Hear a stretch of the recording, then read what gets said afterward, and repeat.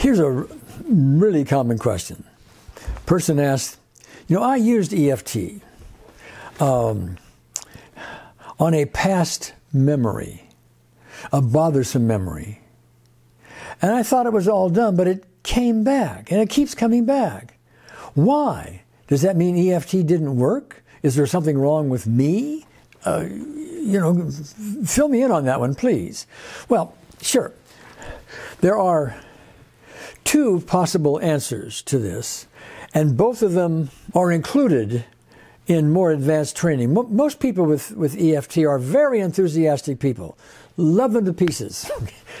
um, but they've learned it from somebody else. They've learned it from somebody else's book. They've they've maybe read a book of mine or seen a video or something like that. But the training isn't the in-depth training that I would like to see everyone have. So they apply EFT in a way that they understand. Great, great.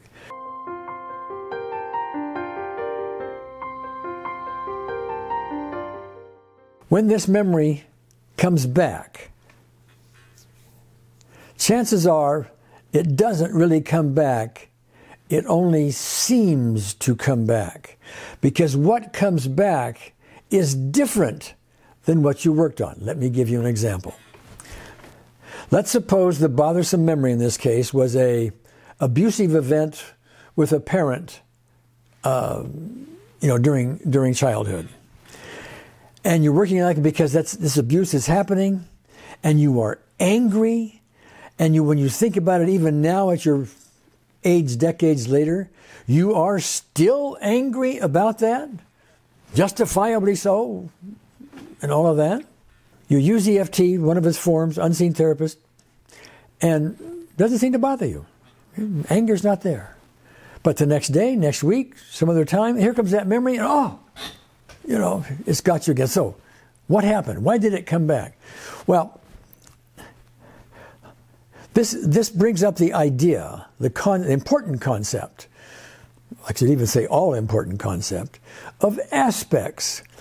The chances of what comes back are overwhelmingly a different aspect. Example, what we worked on in my previous hypothetical example about abuse by a parent being angry was the anger. That's an aspect of this specific event.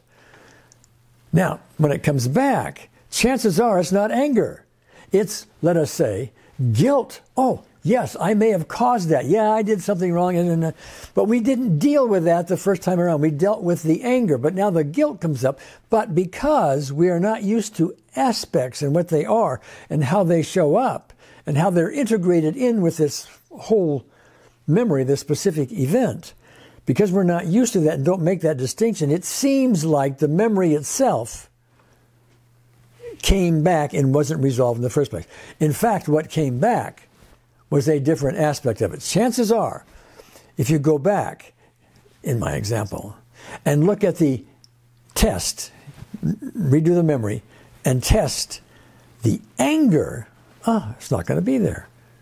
It'll be guilt or some other emotion, some other aspect going on. So that's one reason why it may have come back.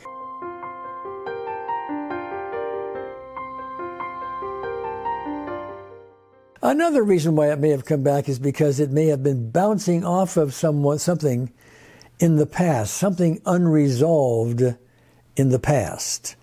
Um, and that makes something in more current time even more exaggerated in its impact on you. I'll give you an example.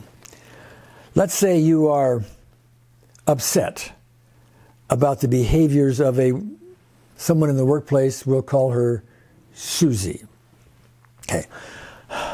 Susie says something, does something, has some gestures, uh, have some behavior, undermines you or something like that, cheated, something. And this really sets you off. And so you use EFT tapping, you use unseen therapist, and it seems to be okay for now. But the next time you see Susie, boop, here it comes again. You try it again. Next time you see Susie, here it comes again.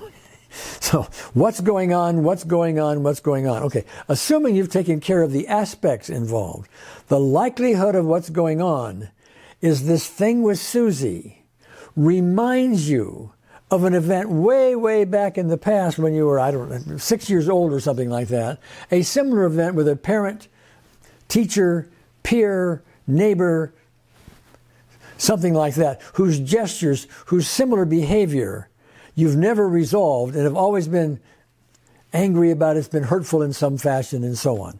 So Susie reminds you of that and she will continue to remind you of that. I don't care how much EFT you do until you resolve what is bouncing off of, which is the thing way back in the past. So to summarize that, if it keeps coming back, chances are what's coming back is not what you worked on. What's coming back is some other form, either something it's bouncing off of or some other aspect.